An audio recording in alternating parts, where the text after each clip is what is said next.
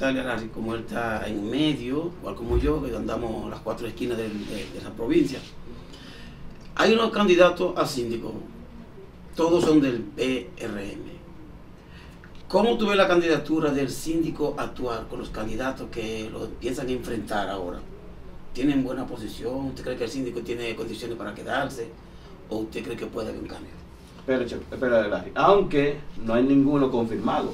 Pero ya hay. Ya hay candidatos sí hay, precia. Pre, ok. Los aspirantes a síndico. Ahora mismo los que suenan son los del PRM los partidos de gobierno tienen más publicidad que los que están fuera del gobierno. Bueno, yo no los conozco los, los, los precandidatos. ¿Quiénes son esos del, PRM? El PRM. Bueno, Allende, eh, supe que Allende. estaba David Cuna. Ah, ok.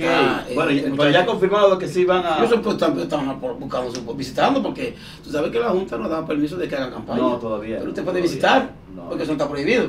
Todavía no. Entonces, el síndico actual, yo le preguntaba aquí a mi primo, sí. está en las condiciones de que va a competir él va a cambiar de, candidatura.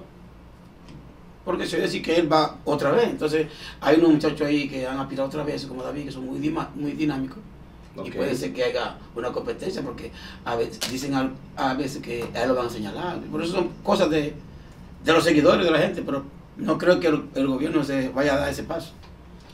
Bien, Chacón, eh, muy buena la pregunta. Eh, los que están aspirando a alcalde de este municipio de cabecera son buenos muchachos, se, tienen una, trayectoria excelente, tienen el de, todo el derecho de aspirar a la posición que ellos entiendan, porque esto es un país democrático.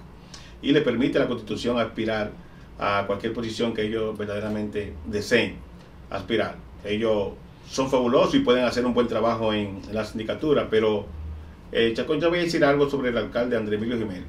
Eh, hay muchas personas que no entienden cuál es la función del ayuntamiento y creen que porque no se hace una cosa con la otra, porque el ayuntamiento no tiene una varita mágica.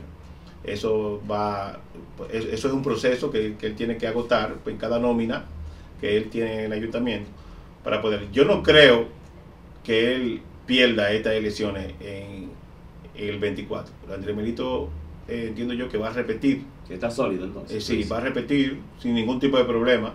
Eh, cualquier alta y baja que tiene es normal en, cuatro, en cuatro años de un alcalde, pero Andrés Emilio tiene, tiene muchas condiciones. Está sólido en lo que es el PRM y aparte del PRM, yo no soy del PRM y lo voy a apoyar lo estoy diciendo aquí. No, porque yo siempre he dicho que para apoyar a un amigo no hay que irse para el partido. no, no, Entonces, Y, y, más ahora. Que, ahora pero hay personas que no entienden eso. Hay personas que, que, que ah. confunden eso y dicen cualquier cosa. Por esto, por además, además, ya todo el mundo viene solo, sin ningún arrastre. Entonces, yo puedo apoyar a quien yo quiera.